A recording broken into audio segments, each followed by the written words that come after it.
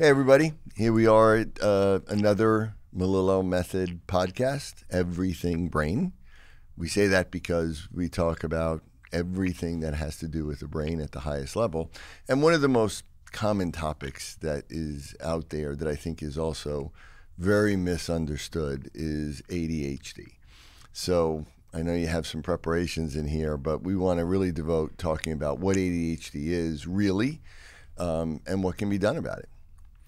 Well, welcome everyone, and I'm excited to be back.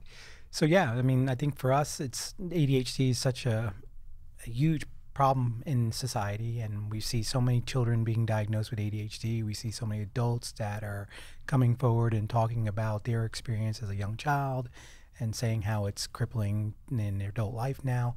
So why don't we try to demystify some of the things that people are saying? I mean, there's so much information out there on social media talking about well you know, you see these people like, oh, I have ADHD and it allows me to do this, and I have ADHD and it, I'm capable of doing this. But in reality, really what they're talking about is the brain asymmetry that we've been talking about. That in some most instances, they either have a developing right hemisphere that's developing faster, or they have a left hemisphere that's developing faster. So why don't we talk about that today? Sure. Yeah, and I think first first of all, you know, we both see a lot of podcasts because you send me things, and even on somebody like Joe Rogan, who I think is great. But you know, there was somebody on there who was saying that there's no such thing as ADHD. There's a lot of people out there, supposed experts. You know, they don't really actually know anything about the brain, but you know, clearly, attention has been one of the most, you know, consistently and uh, accurately studied aspects of all neuro- of all psychology. Meaning, going back to the late '70s, I mean, there was this explosion of attention research, and I don't think there's been anything else more studied. So, when you talk about understanding the neurology of attention and ADHD, you know, it's out there. It's very, mm-hmm. very clear, um, and you know, people have it. People have that, but you know, a lot of people will say, well, no, it's just another variant. And again, you know, that it's just this. And it's so misunderstood because, like you're saying, I mean, there can be a lot of things that can cause attention problems, right? Like if you're anxious, if you're worried about something, you know, if you've been traumatized in some way, I mean, all those things can affect attention. And a lot of people just kind of lump it all together into one thing. And, and, you know, we all see so many kids and so many adults now, they're just thrown that diagnosis, you know, just ADHD, anything. If there's anything difficult, if there's anxiety, if there's depression, if there's any difficulty learning, if there's any behavioral issues, they're just throwing out that diagnosis, ADHD, and then usually just tried to prescribe medication of some sort. So, you know, it, it, it I think the clear thing we have to understand is separate what's out there and people put and say, okay, this is ADHD, and what is the real neurophysiological model that is out there in the scientific literature and that I've written about extensively uh, that we look at at ADHD. And, you know, one of the things I get is people come in and whether they're a child or an adult, and they'll say, well, you know, I've been diagnosed with ADHD or my child's diagnosed, and I'll, I'll say, what type? Is it type one, two, or three? And they look at me like, I don't know what you're talking about, right? So there is a difference, and people don't even know that difference, and it's not even it's not given to them as a diagnosis. And we're going to talk about that it's important because clinically and neurologically, type one and type two may be the exact opposite of one another, and so that's where a lot of the confusion because you get two different people, personalities, two different really symptoms, and and you know the way they present and they're the opposite, but yet they both claim to have ADHD. So that's kind of confusing, right? So I think that's where understanding the idea of the right brain and the left brain, and when we talk about the asymmetry, we have to talk about type one, which is the inattentive type. Um, you know, where there isn't any hyperactivity or impulsivity, is more typically associated with a left brain delay and overactive right hemisphere in the networks that we're going to talk about. And the classic ADHD, which is really the type 2 or the combined type 2 and 3, which is inattentive and impulsive and hyperactive, is you know well described as a right brain delay deficit with overactivity in the left hemisphere. So right off the bat, that there's a huge difference and neurologically complete opposite. Yeah, and anytime I hear somebody on Instagram or any other social media platform, that's what drives me crazy because no one is talking about the nuances of of attention. Okay, the idea that we have attention that comes from the left side of the brain, and we have attentional networks that come from the right side of the brain. So you just alluded to the fact that, you know, in a person that has truly inattention, and they have lack of focus or detail focus, where is that coming from in the brain? Yeah, so when we look at attention, there's basically five types of attention in the brain that we know of in the human brain. And four out of five of them are predominantly right hemisphere driven. So, sustained attention is the main one that we see really impacted. And that's associated with a network called the ventral attention network, in the, that is more lateralized to the right side of the brain. Um, and that is, again, a little bit of a broader type of attention, but it's sustained. So, it's the type of thing, if we talk about evolutionary hunter gatherer, you're out there as a hunter and you're looking at you know, the forest or you're looking for an animal and you may have to stay there for hours and hours and hours before you see something that, you know, it's very boring and it may be, you know, and you and you can't just zone out. You have to have some level of attention, but it's not like hyper focused attention uh, because that's very energy driven, right? So it's that kind of attention also divided attention, meaning where you can kind of pay attention to a couple of things at the same time, or so you have a little bit of a wider perspective. And that's the kind of attention you need really in a classroom, right? Like being able to sit there, a teacher talking about something boring, you know, all these things going on around you that you need to be able to filter out, right? But not hyper intense focus. And when we talked about the interactive metronome a couple mod, um, podcasts ago, the idea of being able to use something like that device to build sustained attention. Because yeah, here you right. are having this very mundane task uh-huh. of, okay, I got to hear this reference tone. I got to clap to this reference tone. Right. I got to try to time the reference tone. So the idea that I can maybe be using sustained attention and divided attention mm-hmm. together. Yes. And then when we look at the left hemisphere, which is much more detail oriented in general and you know, much more about learning and memorizing things. And when we're really focused, um, like the Central Executive Network, really doing, you know, kind of high level executive functions. Um, the only type of attention that really is purely left brain is really that hyper focused, detailed attention. That it tends to be kind of short term because, again, it's very energy dependent, meaning that if we're really focused on cramming to study or, you know, really reading something to try to extract information from it or memorize something or somebody gives you an, a phone number and you need to memorize it, you know, you need to really hyper focus. So we're talking about details and facts. Right. So, you know, really kind of memorizing and learning and, you know, uh, paying attention to facts and details and sequences of things like numbers or words or whatever. Subconscious learning. Yeah, and it's and the left brain is what we call reward reinforced, meaning that you know we're doing it for a reason. Like there's a goal, and the the left brain is goal directed. So there's a goal. Why are we paying attention? Why are we looking at something? Why are we doing this? You know, I have a test coming up, and and so it's like okay, then when you do it and let's say you say, okay, now I got it, I learn it. Now there's a reward, which is basically a shot of dopamine. I was going to say the goal directed behavior is the dopaminergic pathways. Right. Yeah. yeah, that says, okay, you know, great, you did it. Um, the problem with video games is that it's designed to kind of hack that system because we get kids with, let's say, a traditional right brain deficit, hyperactive impulsivity, right brain deficient um, ADHD, the type two or three, and you know, parents will say, yeah, but they can pay attention to video games for hours.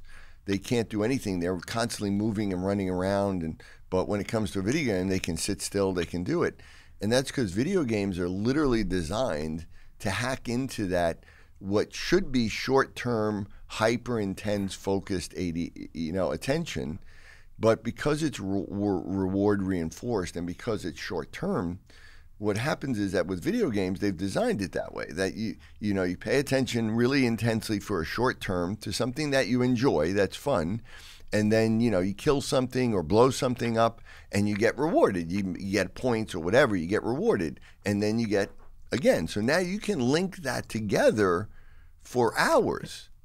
But that's not the way it's supposed to happen and you're constantly getting reinforced because you're constantly getting these shots of dopamine and that actually just makes it worse because it builds up that left brain, it drives down the right brain. So now we know that, you know, after a period of time, their attention is even worse. I mean, their sustained attention or divided attention is, is horrible after that, right? Yeah. And, and one of the early, I think, writers that you spoke about many years ago was Fred Previc.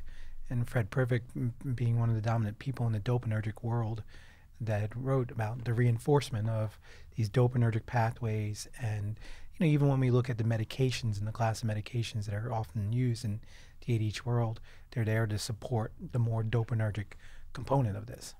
Yeah which is almost paradoxical because we know that dopamine is more associated with the left hemisphere. So it's more associated with executive functions learning memorizing motor activity right so we know that you know, left hemisphere is more about initiating motor activity and being more more motor driven. Dopamine is more about that. We know that it's more about, as we said, learning facts and details and being really hyper focused on details, um, goal directed, motivated, motivational, um, all of that. And then being reward reinforced for when you hit a goal um, so that it reinforces that behavior so that we keep on doing that so that we form that as a habit more easily. So we know that that left hemisphere is, is driven that way but we know that in adhd traditional adhd typical the right brain deficit that dopamine that left brain dopamine system is overactive.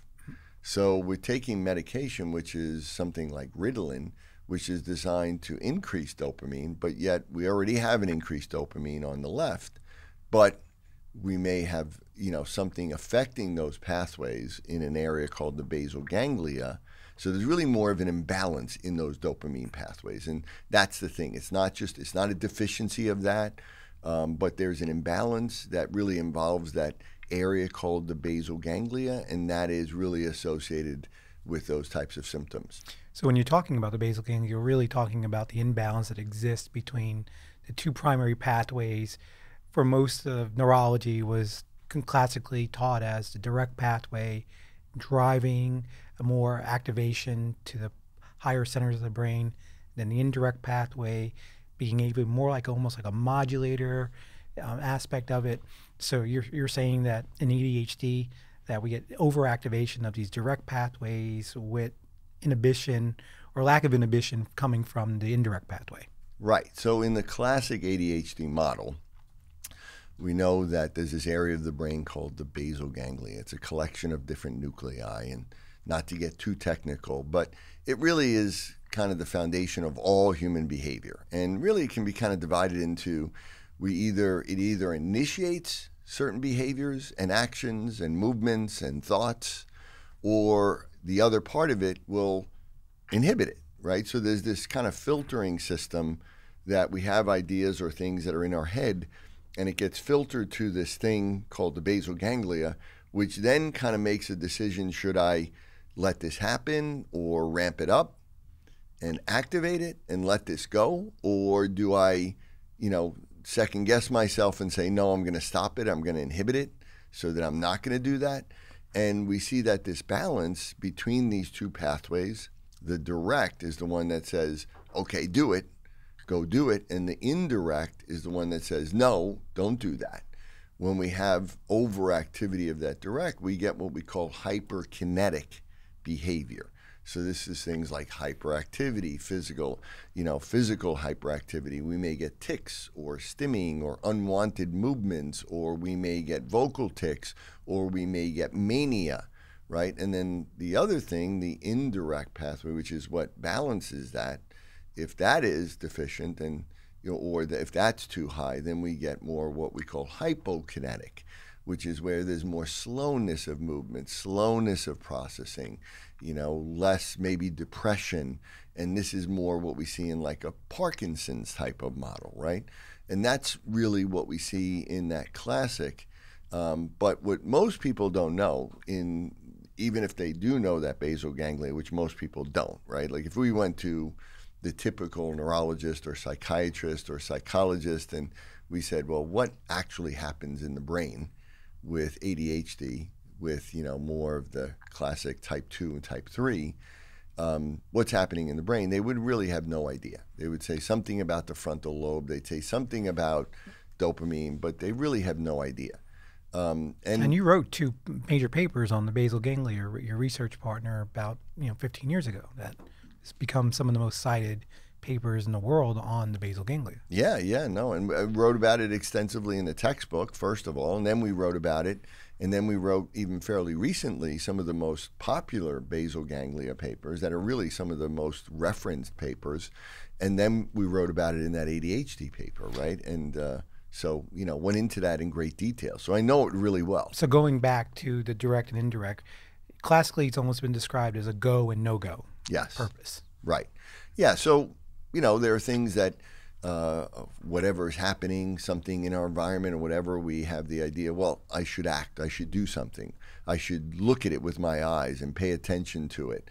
Um, and then there's there may be something else that says, no, you know, that's not important right now you know, stay focusing on what you are focusing and you know that's not what you need to do right now. And so we need to be able to balance that or there's a time when we we don't want to move when we don't want to act. So that balance is there at all times you know to control our behavior.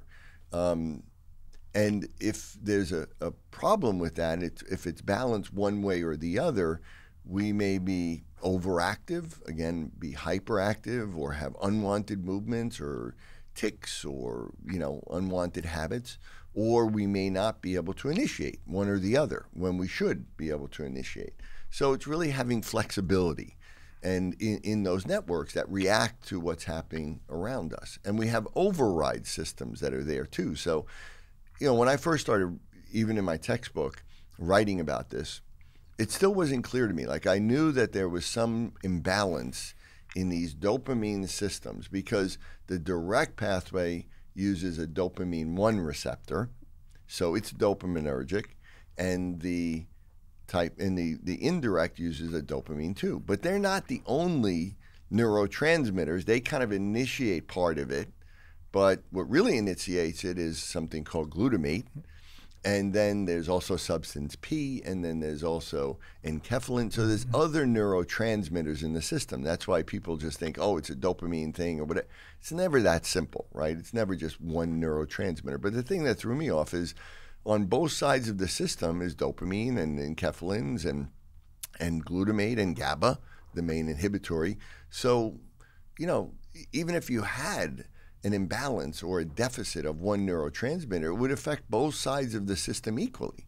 So there's an imbalance in that system, but where is it coming from? How how does that system get unbalanced? Now you could have a genetic mutation or you could have an injury or you could have some sort of toxic problem or you could have a stroke that might affect one part of the system and not the other, but that's very rare and also pretty obvious that you can see it.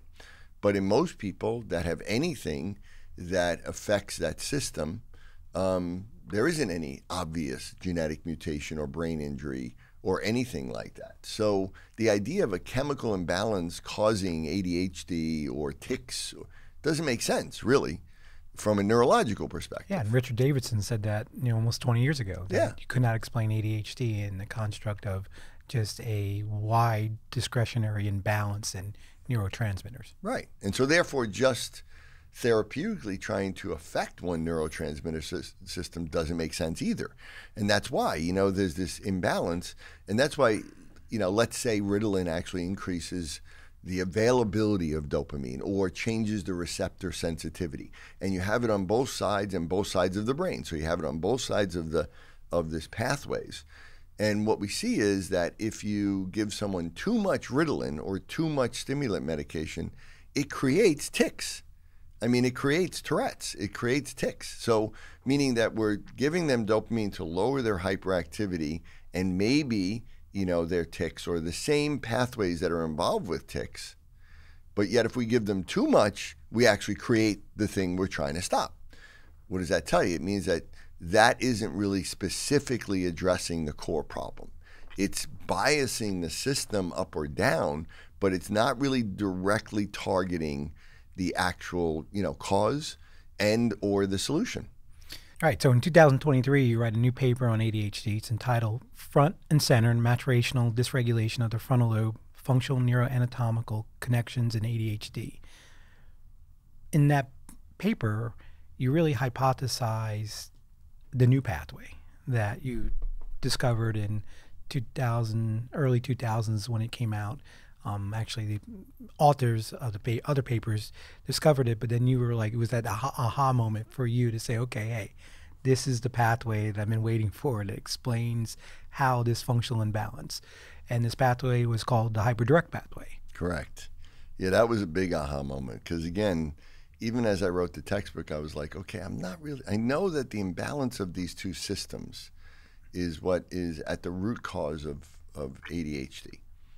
But I don't see where it becomes unbalanced, right? Because it, it can't be a chemical imbalance. And, you know, most of them don't have damage, and it has to be something developmental. And then I read this paper on the hyperdirect pathway that had been discovered. And the hyperdirect way, direct pathway is a separate pathway that only is found in the right brain. So I knew at the time that there had to be a right brain deficit because from the very beginning it was very clear to me that the symptoms, this unevenness of skills that was being talked about, uh, which is, you know, by the way, something that we'll talk more about because, you know, that's where we have people out there talking about how they have the, these superpowers or this unusual skill. And it's true. But the only thing is because there's different models, they have different skills, but that there's unevenness and that the left brain things that the left brain do were always kind of overactive or were really good in people with ADHD, and these right brain skills were typically poor. And, and again, in the literature, there was so much on attention, and how attention was really associated with the right brain, and especially the right parietal lobe and the right frontal lobe. And these attention networks were pre- pretty clearly defined. Um, but I wasn't seeing, okay, where does this imbalance come from? And then the hyperdirect pathway was a separate pathway that was only found in the right hemisphere in two areas. One area called the premotor area of the right brain, uh, or Brodmann area 6, essentially, or what was uh, called the supplemental motor area. And that that was for the motor component of it, so the hyperactive physical motor component or if there were tics or anything like that. And then there was an area in the front called the inferior frontal gyrus that was Brodmann area 47, 45, 44, that was really about the more mental, emotional part of it. So, like possibly the anger or the anxiety or the obsessive thoughts or compulsive type of behaviors that was also often seen. Because remember, when, when in the beginning of this, the one thing that was really clear was there's a lot of what's called comorbidity, meaning that you almost never saw ADHD without some level of OCD or maybe some level of tics or Tourette's. And they, they came together a lot along with certain types of possibly learning disabilities. Or so, even behavioral. I mean, a lot of oppositional behavioral yeah, right. aspects, a yeah. lot of emotional dysregulation. Mm-hmm. So, you know, you have to say that there's multiple parts of the brain being impacted, not just attention. It's not just physical hyperactivity, but there's other things. So there had to be an overlap. So those two areas were areas that people talking about in the parietal lobe and the frontal lobe areas. These two parts came together to form what's called the indirect pathway or the hyperdirect that only activated the indirect pathway, so the pathway that inhibits things. So that would mean that if that area wasn't online or if it wasn't developed or if it was immature, that just by the nature of it, the there would be less inhibition or less, you know, stopping things in the system, and to be more of the direct pathway, the things that were the pathway that activates all those things. And right there, that explained the model, and it was the answer.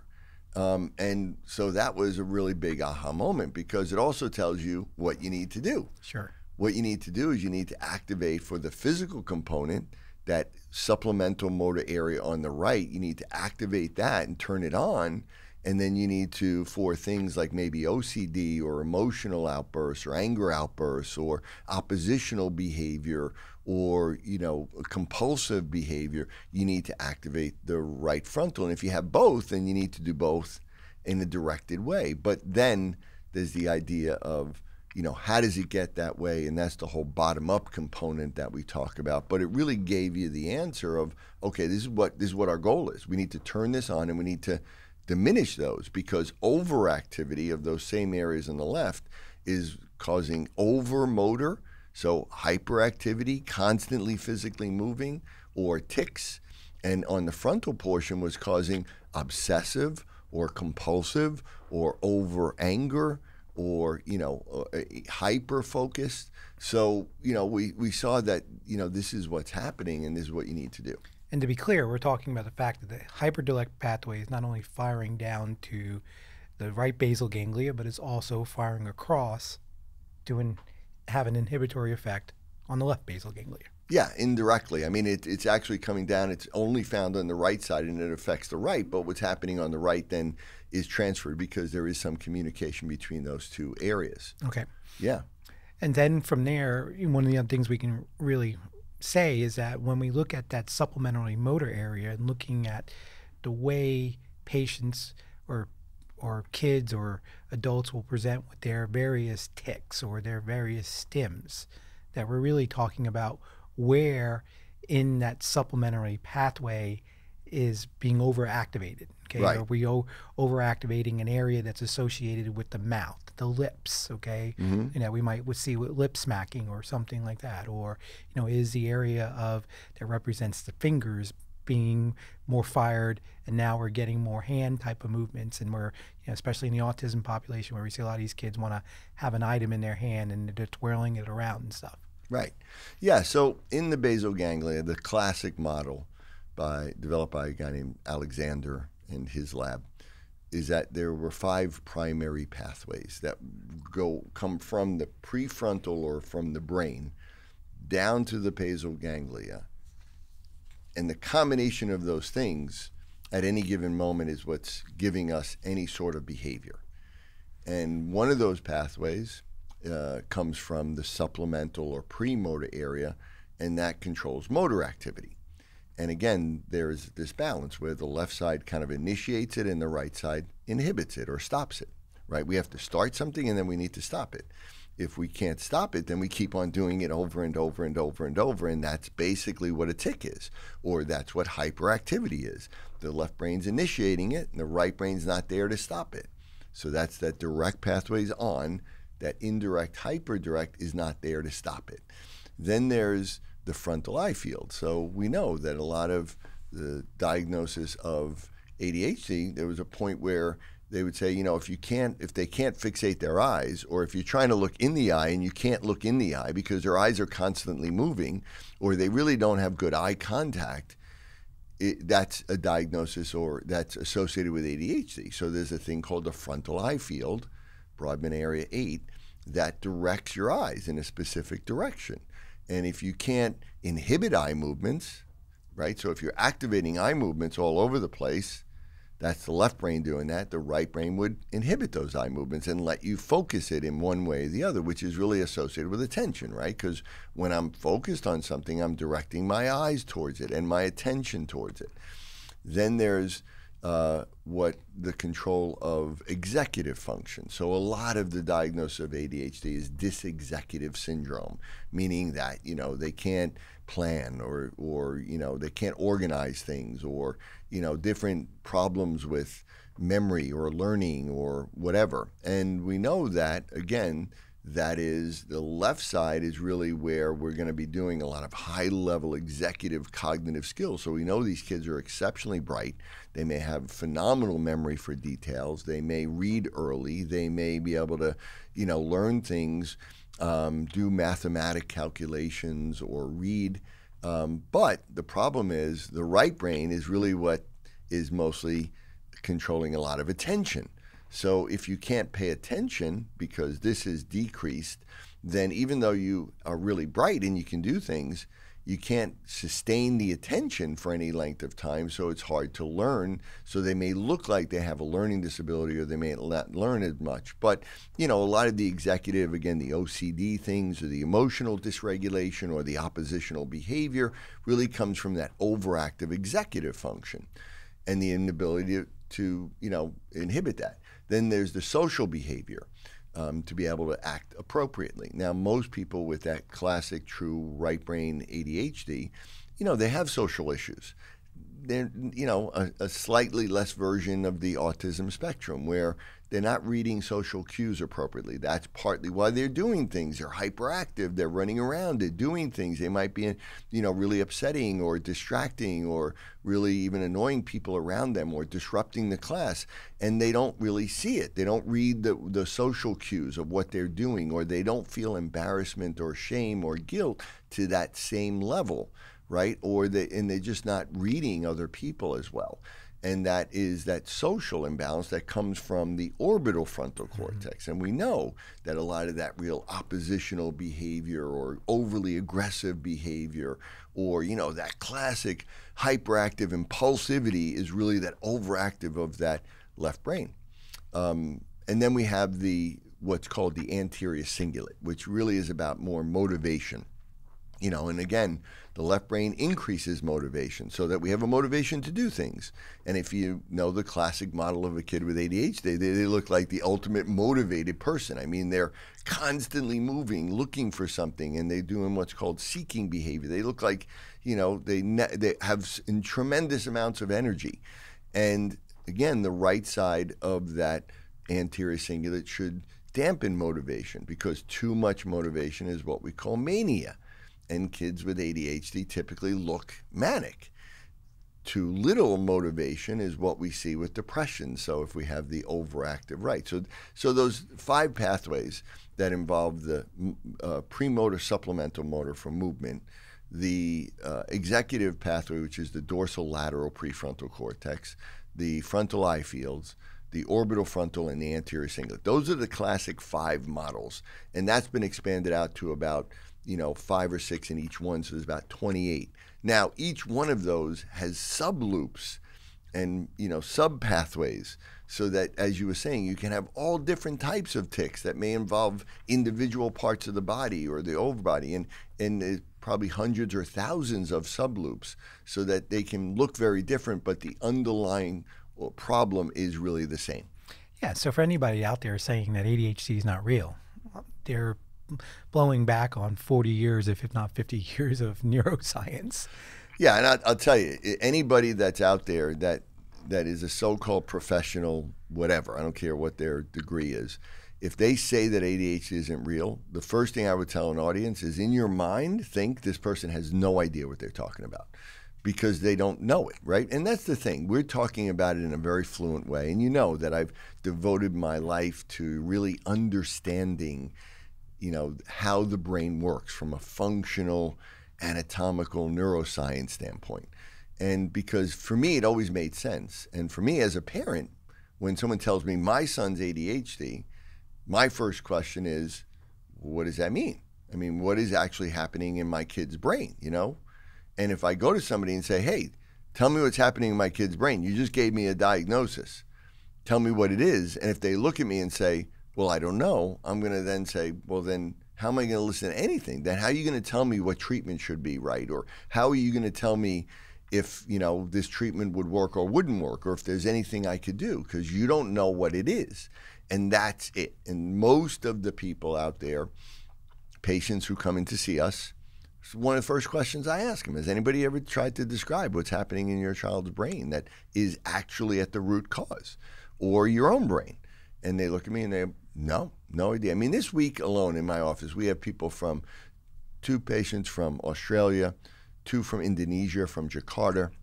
We have Brazil, we have Milano, we have uh, Mexico, we have Washington State, California. I mean, that's just a few people flying from all over the world, Dubai. And, you know, this is a typical week in my office. And they've been everywhere and they've gone everywhere and that's you know that's wh- where they're doing that. And the first question I ask is, has anybody tried to describe to you? You've gone to these so-called, and they they all say the same thing. Nope, nobody's sent anything. And so that's the whole thing. There's a reality to this. There is attention is probably the most studied thing in all of psychology. You know, uh, a few weeks ago, myself and, and my research partner Gerry Leisman, we spoke at the Association for Psychological Sciences in San Francisco it's the conference every year that is the science part of psychology, right? Because most psychologists don't really know the science. You know, they're practitioners and they're good at what they do, but they they don't really know the science under psychology. And we were asked to speak there about, you know, talking about the things that we do. This was actually the neuroscience of imagination. But the bottom line is that, you know, there's a science under psychology and psychiatry and attention is at the top. I mean, there's more known about it than just about anything, except for maybe how the hemispheres work, right? Sure.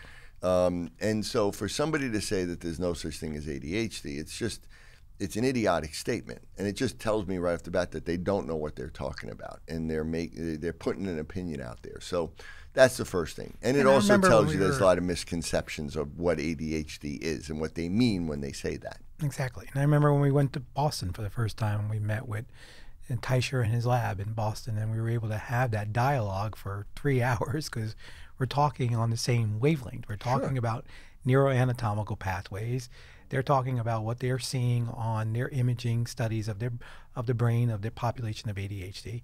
They had that neuroquant technology that they were showing us. Right. They also had that other technology that they had that was trying to come up with a biomarker to differentiate between ADHD and tics and Tourette's by just looking at body movement. Right. Okay. Yeah. So here we are at the the number one psychiatric hospital in the in the country, right. and having this dialogue, and that's what allowed them to become interested in your work because they said, okay, here's a guy who understands the neurophysiology and neurobiology of, of ADHD. So yeah, I mean, I think it is very frustrating when there are so-called experts out there that are in in some ways, I think saying, "Oh well, ADHD is, is being overdiagnosed, and it's being overdiagnosed to just sell prescription medications." Um, but in reality, it's actually happening. It's happening to all these families that we serve every day in our offices, and we see not only the inattentional problems, but all the other downstream issues that go, like we talked about, the oppositional defiance, the emotional dysregulation, all the the physiological aspects that we see, the immu- immunological imbalances, the gastrointestinal issues that we see, the food sensitivity components of this. And so, yeah, I think that no one is putting it together the way you've put it together over 30 years to say, hey, all these symptoms are real, but there's a neurobiological mechanism that can explain all these symptoms. And mainly that's important because we can then do something to change it. And that was the thing at Harvard when we were there at that lab which, as you said, is you know they've been around for 30 years. They're one of the leading labs in the world studying ADHD and developmental biopsychiatry. Um, that they completely agreed with our model because they had actually published some of those papers. And you know, there was no discussion where they were like, "Well, there's no such thing as ADHD." Of course, there is ADHD. Of course, we've studied it; it's there. But what they said to us was, "We've never seen someone that came up with how to change it because we've been doing this for 30 years looking for a solution and medication helps the symptoms but it doesn't address the core problem. So it really doesn't work long term. And we've been searching for that answer and we've come up with ways of diagnosing it better and again documenting that it really is there and we can document it as well as anybody um, and especially when there's the inattention and the physical hyperactivity component but we've never seen anybody that came up with a way of saying, okay, yes, this is the system and this is how we change that system by stimulating specific areas of the brain, by inhibiting other areas, by looking at how it got that way to begin with. What what interfered with development? So again, in that paper, one of the first things it says that I wrote is that it's about maturation.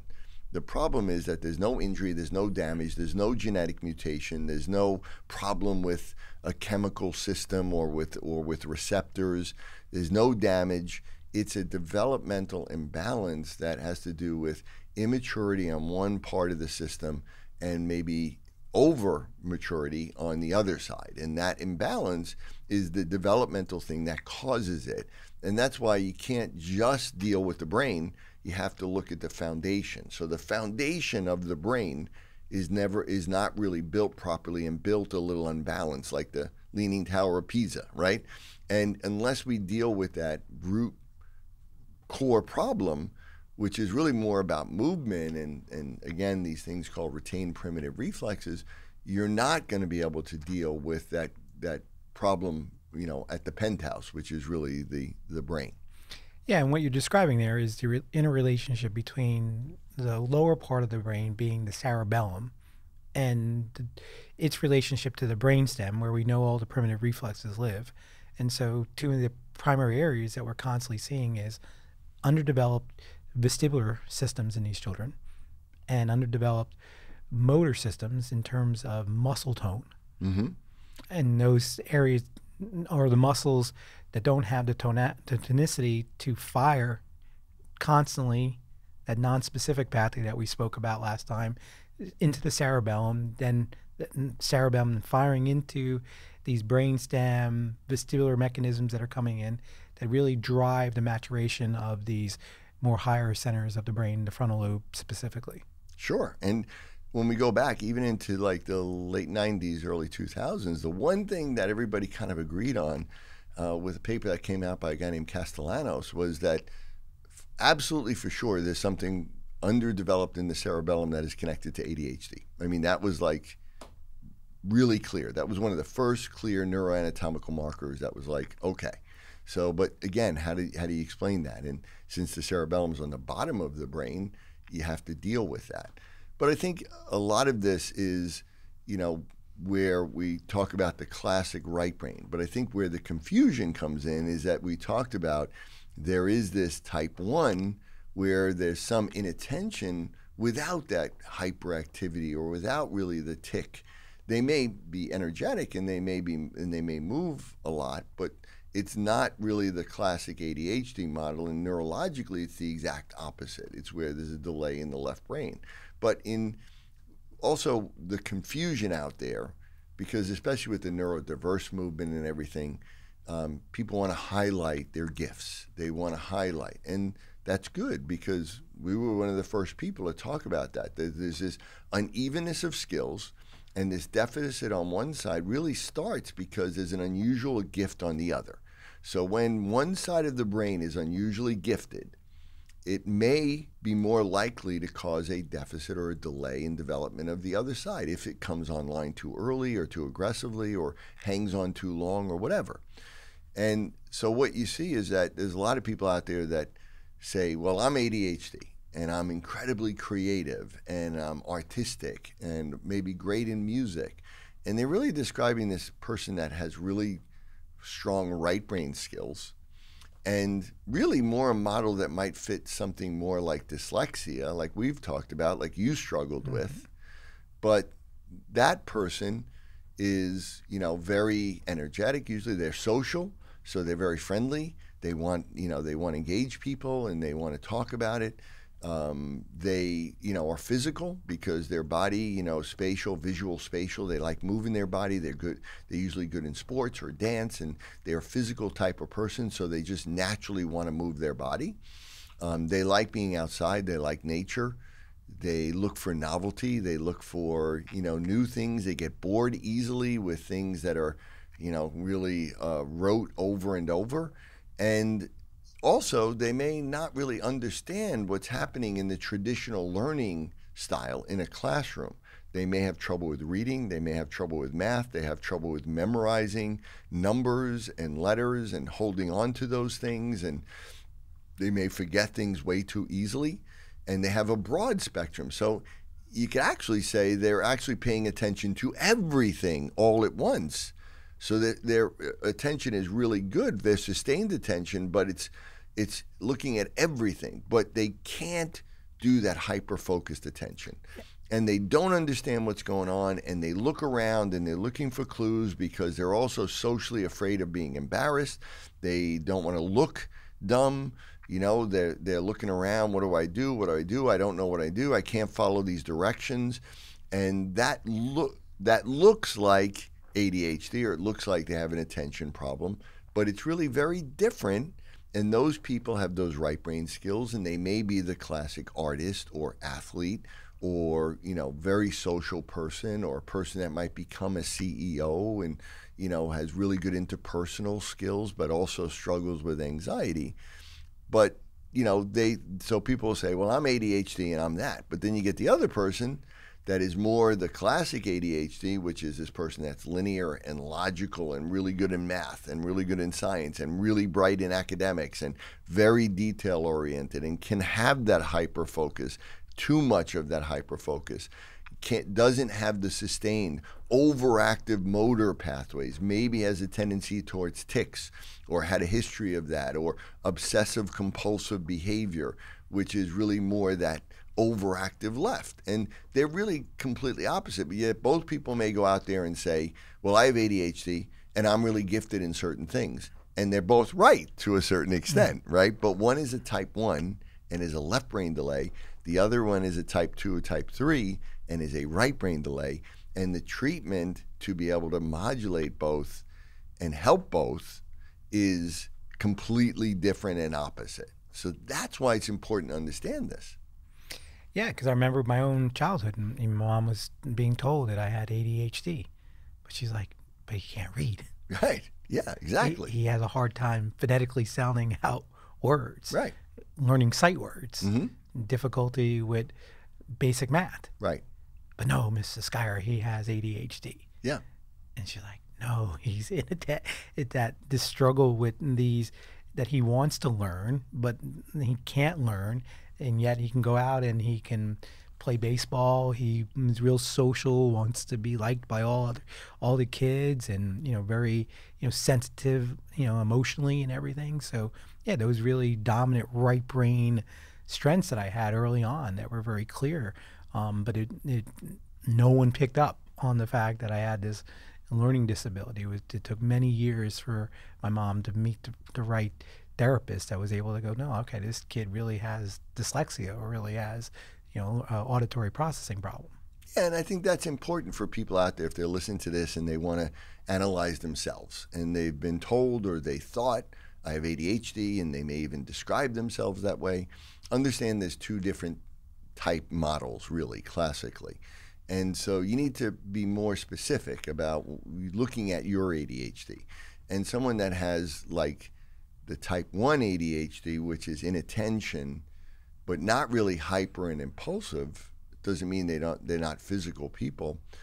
That is more of a left brain deficit, and that's more associated with things like a classic learning disability or dyslexia and again, defined we'll define dyslexia. Dyslexia is not reversing or transposing letters or words or numbers. That's what people think. No, it means you're having a problem with word reading, with phonics, with decoding, that you're reading maybe a grade and a half to two grade levels below in basic word reading. If you're a really slow reader and it's hard and you're really poor at spelling and you you know you you kind of have trouble memorizing details, you're probably dyslexic and schools never use that term, but you're probably dyslexic. But that kid is probably more likely to get an ADHD diagnosis than being told, no, this child has a reading problem or they have a learning disability or it may be called a processing disorder. And again, that's even a misnomer because it's really a processing imbalance. Because we know in classic dyslexia research, people that are dyslexic, they're gifted in their visual spatial skills. Yep. They have they're gifted in global you know, auditory and visual processing, but they have a problem with detail local processing. So that's where, you know, the understanding this, if you want to change the system and you want to improve it. And so, you know, one attitude is, well, I have these gifts. Let me just focus on my gifts. I'm going to ignore my weakness and just accept me as I am, which is all well and good. But if you can, wouldn't you want to change it and maybe take away any of your weaknesses and have everything as a strength and not just have, you know, one really great strength and then one other really great weakness and actually create balance so that everything is working good. That would be a better solution to me, I think, than just purely acceptance, which to me means that you're you you know, you're just going to not really deal with the problem. Yeah, and I think one of the main issues with that model of saying, okay, I'm not going to deal with it, I'm just going to accept my gifts. Maybe in an adult, that might be okay to a certain extent, but what about this young child or that that asymmetry can get wider and wider and wider so by the time they do get to adulthood, we're not just talking about a learning disability anymore. We're not talking about dyslexia. We are probably talking about depression. Yeah. Okay. Yeah. We are talking about potentially suicide. Correct. Okay. And I'm in New York, and the first thing that happens to me this week while I'm in New York yesterday was I turned down 35th Street, West 35th, and there's a body laying in the floor, in the ground, like someone decided to jump off a building. Okay. So what drove that person to do that? Okay. So I think that that's the biggest thing that we got to realize is the fact that these asymmetries that we're seeing in childhood, if they're not addressed, they are going to manifestate into a greater neuropsychiatric event in adulthood. Right. And over the years in, that we've been practicing and working together, is that how many more adults are we working with than we've ever worked with? Mm-hmm. Because now so many adults are coming to us and saying, okay, I need you to address this, that I didn't properly address this when I was a younger child and there wasn't this type of therapy before me, but now I understand this and I understand that these symptoms, and because I even know for myself how I have to address my own left hemisphere as an adult. And then if I don't address it at times, my dominant right brain can really take over and and create some mania for me and create some depression for me at times and and everything. So right, and that's that's a really good point because you know some people may look at it and say, okay, well, why don't we just focus on the child's strengths and ignore their weakness, which is actually the model in behavior and education. And so what? What's the problem with that, right? So this way we don't make the child feel bad or we, you know, we just boost up their, their gifts. And, and I understand that. From a human standpoint, compassionately, that makes sense. From a neurological perspective, it doesn't because the nature of it, if you're looking at an imbalance in the system, the more you focus on one side and build up the strength, the more you'll create a more, more severe weakness. And the combination of both of those produces symptoms. Too much activity or overactivity of certain networks on one side, combined with a deficiency on the other, is what all of these mental health and behavioral issues are. And to, you know, we all have a little bit of an imbalance, but when there's too much of it, that's when it produces. And as you said, you know, ADHD might be more of a mild version of that.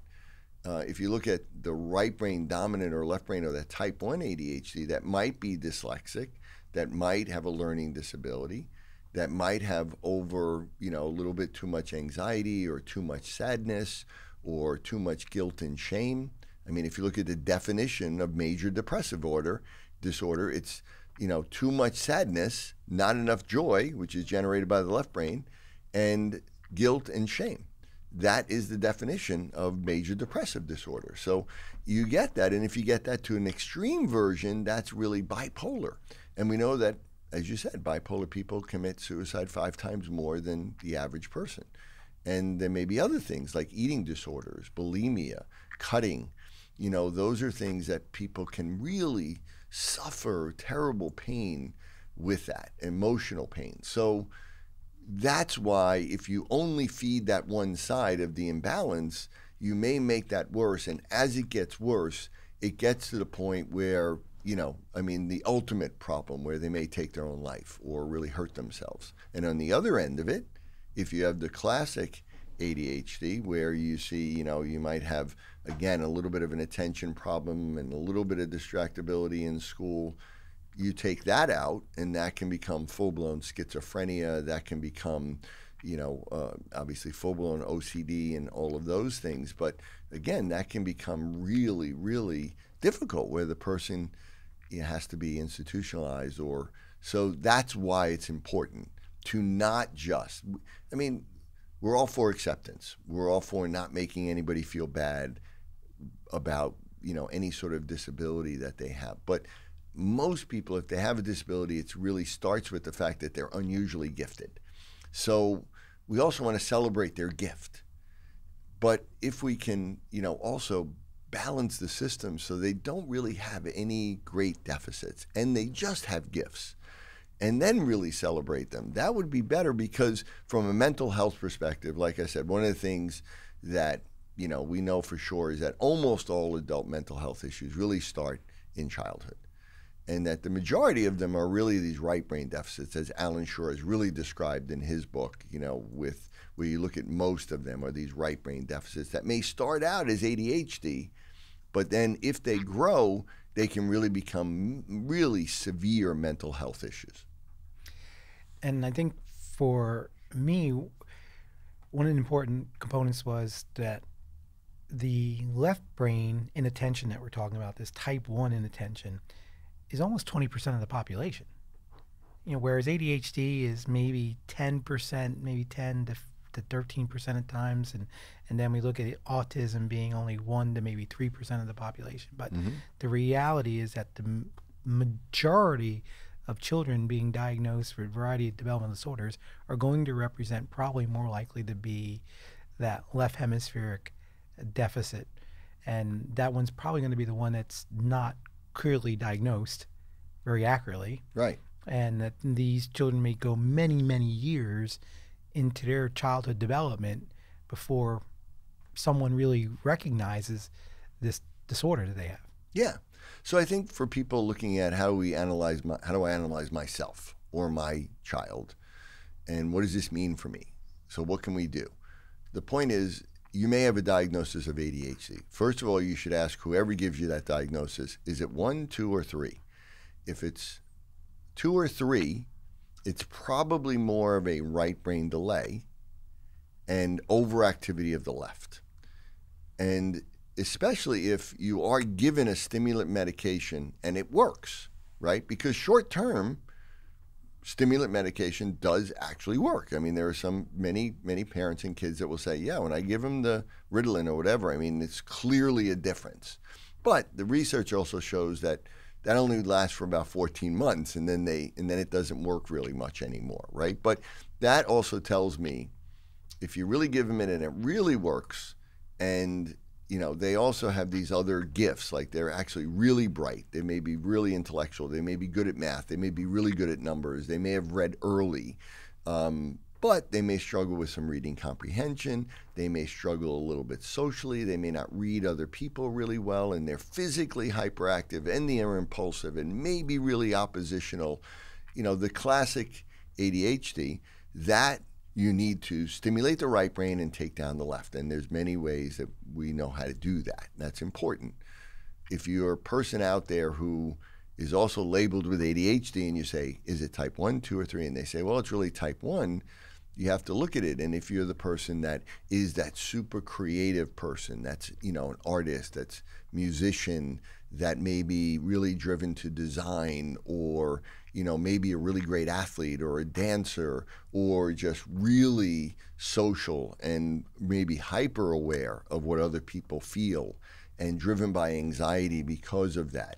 And maybe you're a really slow reader or really have been terrible at math or really can't remember details or or don't do details like taking a class like statistics you want to you know like jump off a building or something um, you know and you're really not organized or your room is a total mess um, but you're also labeled with ADHD right and probably maybe more have dyslexia that's a left brain delay with overactive right. And that's a completely different model. And it's a need, needs a completely different type of treatment. You need to stimulate that left brain and inhibit the right brain.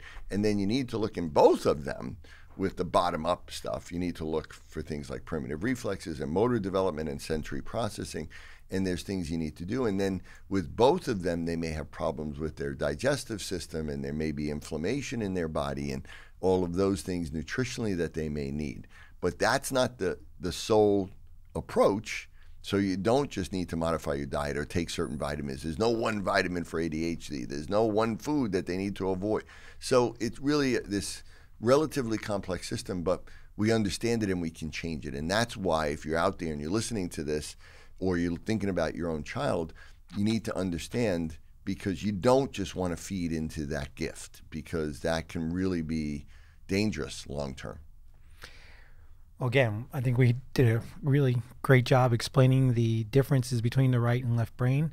Um, for those that want to learn more, I've continued to listen to the podcast. We're going to be really covering more and more of these concepts and expanding on Dr. Melillo's research. Well, I thought it was great. This is such an important topic. It's so misunderstood and so prevalent.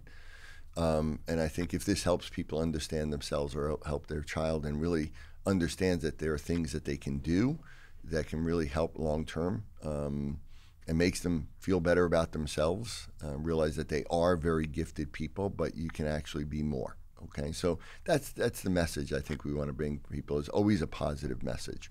And also, if anybody's out there and you ever listen to anybody on any podcast that says there's no such thing as ADHD, turn off the podcast and come back and listen to ours because they don't know what they're talking. Anything that comes out of their mouth after that is going to be, you know, just pure opinion that doesn't really matter. Absolutely. Well, again, great to be here today with you, and um, we'll catch up soon. Okay, great.